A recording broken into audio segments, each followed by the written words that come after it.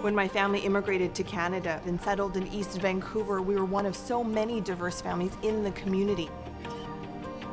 Everyone in my kindergarten class spoke a different language. One thing that has never changed about the city is the diversity of the people and the community. Each day we piece together local stories like a puzzle, and at the end of it, it's one local newscast that reflects the entire city.